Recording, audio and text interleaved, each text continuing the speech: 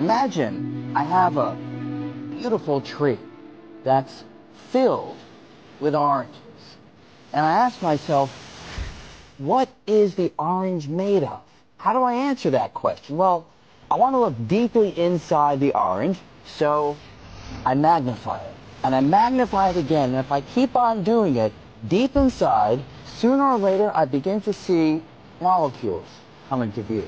The molecules are not the end of the story because the molecules, I can enlarge them. And if I make them big enough deep inside, I begin to see atoms. Atoms are not the end of the story too because we have electrons zooming around the nucleus, deep inside, mostly empty space in the atom, but deep inside, you see the nucleus. So if I grab that and magnify it, I see that the nucleus is itself made of particles, neutrons, and protons. If I grab one of the neutrons and magnify it, find yet further particles, little tiny quarks inside. Now that is where the conventional ideas stop.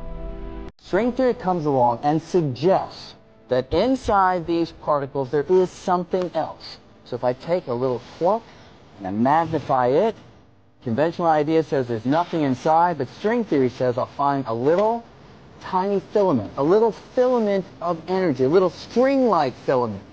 And just like the string on a violin, I pluck it and it vibrates, creates a little musical note that I can hear.